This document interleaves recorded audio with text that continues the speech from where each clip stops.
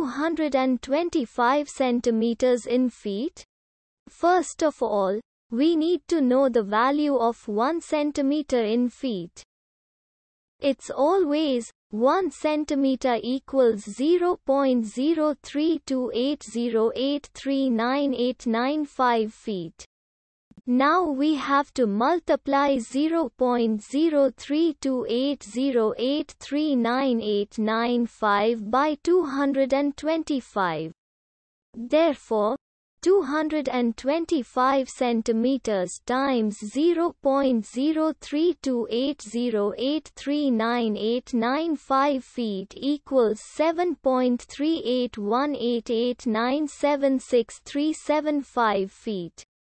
So, in other words, 225 centimeters equals 7.3818897637 feet. We hope you have enjoyed this video.